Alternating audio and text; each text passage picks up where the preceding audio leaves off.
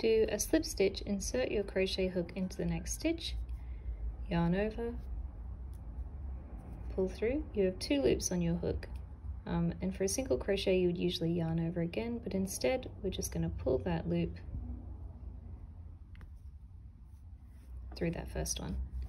And that's your slip stitch done.